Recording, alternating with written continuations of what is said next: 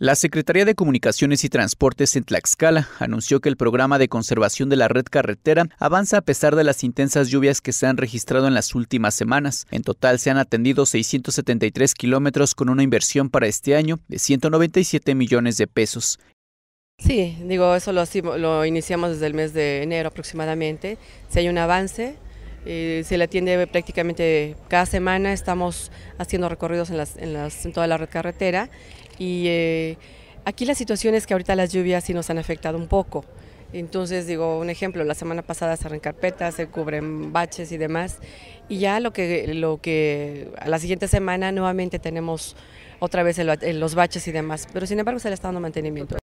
En lo que respecta al programa de empleo temporal, reporta un 50% de avance en la entidad, programa que atiende caminos rurales con mano de obra de habitantes de las comunidades beneficiadas, lo que detona el desarrollo económico de la zona. Lógicamente también es ahorita, de acuerdo a, las necesidades, es como la gente va trabajando, ¿no?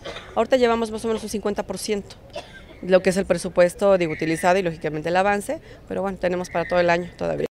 La inversión para este ejercicio es de 30.8 millones de pesos en atención de 44 municipios. Los trabajos consisten en limpieza, arreglo y reposición de cunetas, deshierve de franjas laterales, conservación y renivelación de la superficie de rodamiento, desasolve de canales, limpieza de alcantarillas y bacheo.